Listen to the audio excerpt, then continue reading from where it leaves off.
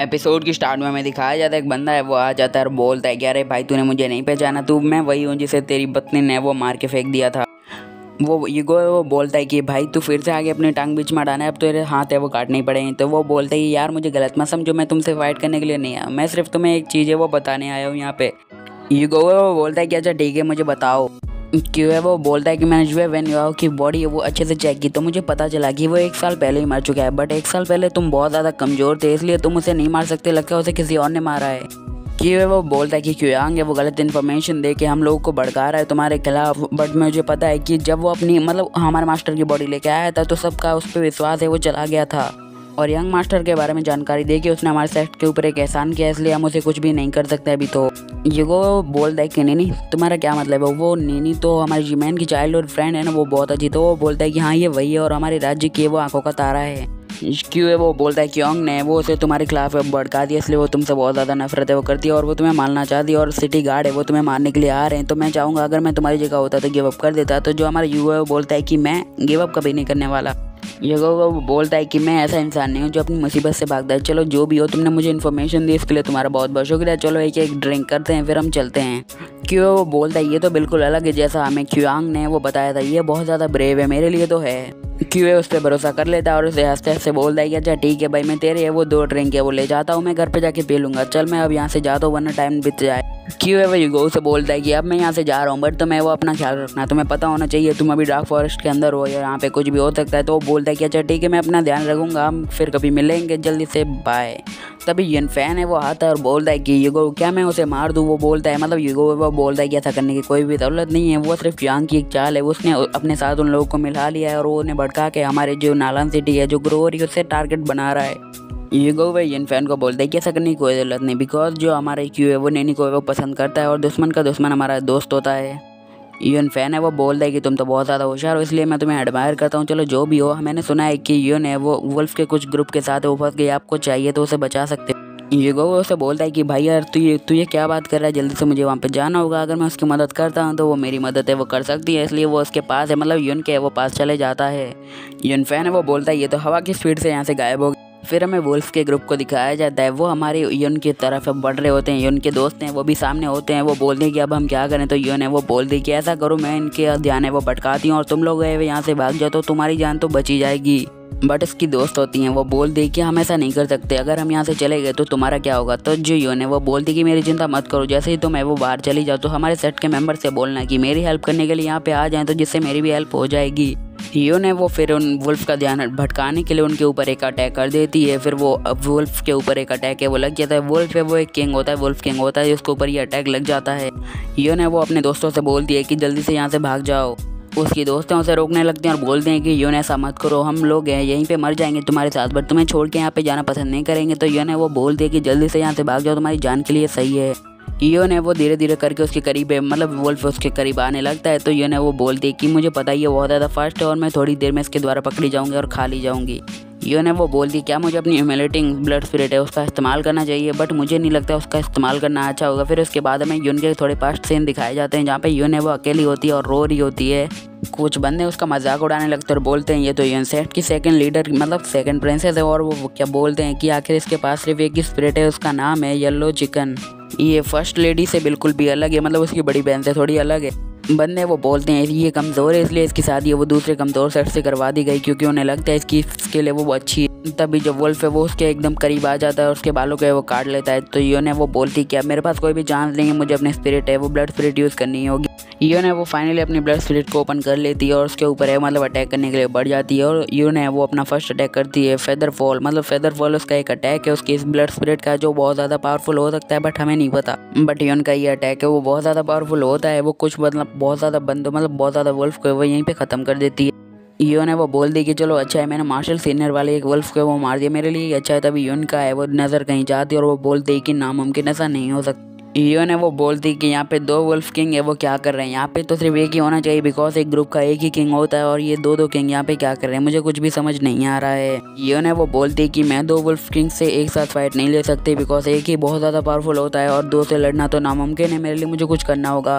ऊपर से आवाज़ आती है और एक बंदा है, वो बोलता है कि इनमें से एक वॉल्फ किंग है और एक वॉल्फ क्वीन है और ये इन दोनों को पहचानने में तुम्हारी गलती कैसे हो सकती है? ऊपर हमारा यूगो होता है और वो बोलता है कि अब है वो शो का टाइम हो चुका है और फिर वो अपने हाथ में कुछ बकेट लाया होता है और उनकी तरफ़ वो छोड़ देता है। उस बकेट के अंदर बहुत सारे मतलब चिकन मतलब मुर्गियाँ होती हैं जिसे वो युगो भगा देता है और वुल्फ है उसके पीछे पड़ जाते हैं और जो हमारी यून है वो बोलती है कितने ज़्यादा वुल्फ यहाँ पे क्या कर रहे हैं और वो बोलती है कि आखिर ये यहाँ क्या कर रहा है। बट जो ये उसे डांटने लगती है और बोलती है कि तुम बास्केट भर के चिकन है यहाँ पे क्यों लाए? तो वो बोलता है कि या तुम्हें नहीं पता, मैंने इसे 500 टेल्स है, उसमें खर्च कर दिए हैं। ये गो उसे बोलता है कि क्या तुम पागल हो गए तुम तो लगता है सच में पागल हो। तुम यहाँ पे क्यों खड़ी हो? जब तुम्हारे पास मौका है भागने का तो यहाँ से भाग जाना चाहिए, वरना तुम्हारे लिए बहुत खतरनाक हो सकता है। फिर वो उसकी कमर पकड़ता है, उसको गोद में ले लेता है। यो ने वो बोल दे कि यहाँ पे तुम सिर्फ़ मेरे लिए आए मतलब मुझे ही बचाने के लिए तुम स्पेशली यहाँ तक चल के आए और अपनी जान को भी खतरे में डाली है।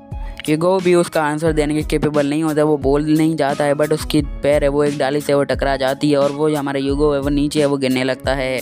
और फिर वो दोनों है, वो झाड़ियों के पीछे, वो चले जाते हैं मतलब गिर जाते हैं और हमारे युगो है वो गलती से ही मतलब हमारी जो यून है उसे केस कर देता है मतलब बहुत ज़्यादा बड़ी वाली केस हो जाती है। यून है वो ये देख के बहुत ज़्यादा शौक हो गई होती है और युगो भी बहुत ज़्यादा शौक होता है बिकॉज़ उसको नहीं पता होता ये होने वाला है। ईओ ने वो से कुछ बोलने वाली होती है तो यू वो बोलता है कि अभी कुछ भी मत बोलना, मुझे लग रहा है कि हमारे आसपास है, वो कोई भी बंदा है तो चुप रह जाओ, वरना कोई हमें देख लेगा और तुम्हारी बेजती होगी। फिर युगो है वो बोलता है कि अच्छा ठीक है, वो बंदा है, वो चला गया है यहाँ से तो अब हमें उठ जाना चाहिए, फिर अगले सीन में हमें दिखाया जाता है। ये गो बोलता है कि मैं तो सिर्फ़ मज़ाक कर रहा था, वो तो सिर्फ़ एक मक्खी थी जो हमारे ऊपर से गुजर रही थी और मैंने तुम्हें बोला कि वो एक बंदा है तो सॉरी मुझे माफ़ करना और वो हंसने लगता है थोड़ा शर्मा शर्मा के।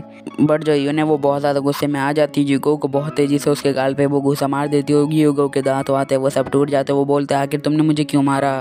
ईगो वो बोलता है कि मार्शल स्पिरिट वाली लेडी है, अगर मुझे मारेगी तो मैं तो मरी जाऊँगा। ये तो मैं तो तुम्हारे डिसाइपल जैसा हूँ, तुमने मुझे क्यों मारा? तो वो बोलती है कि मुझे लेडी है, वो मत कहो, वरना तुम्हारे साथ है, वो बहुत ज़्यादा बुरा है, वो अंजाम हो जाएगा अभी कभी। यो ने वो बोलती है कि मैं सिर्फ़ कोई लेडी नहीं है, मुझे सिर्फ़ एक सामान की तरह यूज़ किया जाता है, दूसरे सेट के साथ अलायंस करने के लिए मैं सिर्फ़ एक कमज़ोर लड़की हूँ, जिसको सिर्फ़ दूसरे बंदों से शादी करवा के उसकी मतलब अलायंस बना दी जाती है सेट के अंदर। ये वो बोलता है, क्या तुम्हारा मतलब इस प्यारी सी चिड़िया के लिए? वो बोलता है कि, अगर ये देखो, अपनी इस छोटे फॉर्म में इतनी ज़्यादा क्यूट लग रही है तो सोचो ये बड़ी बन के क्या कर सकती है? हमारी यूने वो बोलती है क्यूट क्या तुम कहना चाहते हो?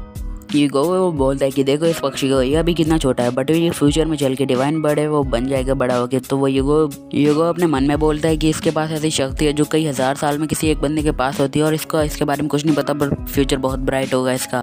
यो ने वो बोलती है डिवाइन बर्ड इसका मतलब तो मुझे कुछ समझ नहीं आया तो युगो वो बोलता है कि इसकी चिंता तुम मत करो। बट वो लोग बहुत ज़्यादा पछताएँगे, जिन्होंने तुम्हें, तुम्हारा फ़ायदा उठाया और तुम्हें गलत समझ के ऐसे ही छोड़ दिया तो वो तुम्हारे लिए बहुत बड़ी अपॉर्चुनिटी होगी। फिर योगो बहुत अच्छी बात बोलते हुए बोलता है कि दूसरों की बातों पर विश्वास ना करके खुद पे विश्वास रखने वाला बंदा है, वो कितने भी आगे जा सकता है बट जो बंदा दूसरे की बात पर विश्वास कर लेता है, वो हमेशा एक जगह पे रुका रह जाता है।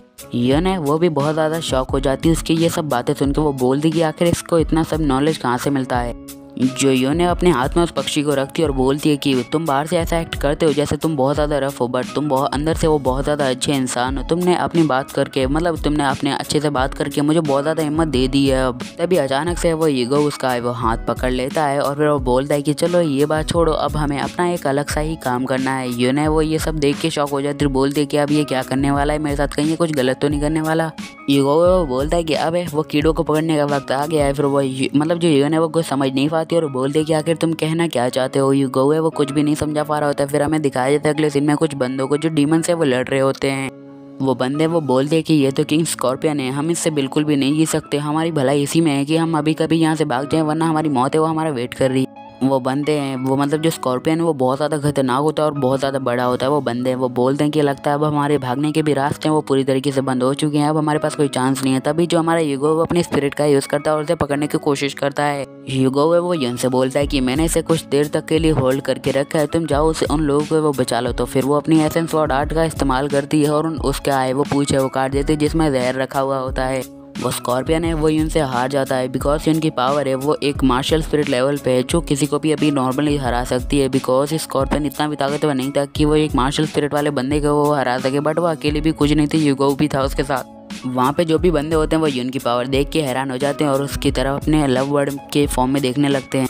फिर जो यून है वो बोल दिया कि तुम्हारा फ़्लाइट से ये मतलब था तभी एक लड़की है, वो हमारी युगो के पास भाग के जाती है और बोल दिए क्या तुम तेंदुआन एसन सेक्ट से हो? मुझे नहीं लगा था कि तुम होगे बट तुम बहुत ज़्यादा औसम हो, तुमने एक ही अपने अटैक में उसे हरा दिया बट की मेहनत तो हमारी यून ने की थी जब हम इतने ज़्यादा मुसीबत में थे, तब आपने हमारी हेल्प की है, मैं आपकी बहुत ज़्यादा शुक्रगुजार हूँ तो आप वो बोल सकते हैं, आप जो चाहे वो करवा सकते हैं मुझसे तो युगो वो बोलता है कि ऐसा कुछ करने की ज़रूरत नहीं है, मैंने कुछ भी नहीं किया, ये सब यून ने किया है। ये ने वो थोड़ी जेलस मतलब गुस्सा हो जाती है युगो पे और बोलती है कि, युगो, तुम तो एकदम कधे हो और एकदम ठरकी लड़के हो, तुम किसी से भी चिपक गए और ये क्या बात हुई? बस एपिसोड खत्म बाइक बस सायो नारा